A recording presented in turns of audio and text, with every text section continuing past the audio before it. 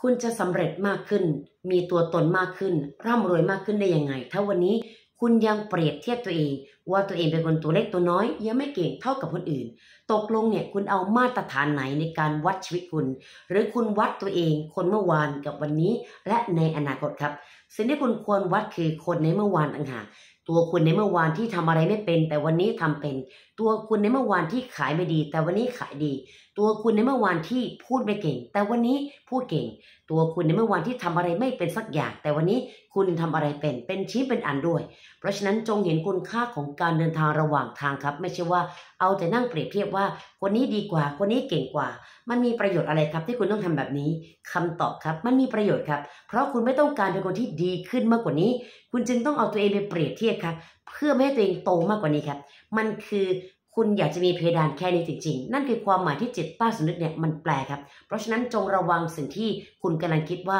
คุณตัวเล็กตัวน้อยกว่าใคร อย่าเปรียบเทียบตัวเองในวันที่หนึ่งกับคนที่เขาเนี่ยวิ่งมาแล้วเนี่ยหนึ่งร้อยวัน อย่าเปรียบเทียบตัวเองนะครับในวันเริ่มต้นกับใครที่เขาเนี่ยอาจจะเป็นแชมป์โลกแล้ว มันไม่สำคัญครับว่าคุณจะเริ่มจุดไหน แต่วันนี้คุณดีกว่าเมื่อวานอย่างไร มันสำคัญกว่าคุณว่าใช่ไหมครับ ใครคิดว่าใช่พิมพ์ใช่มาหน่อยครับโอป้าอีสานสวัสดีครับ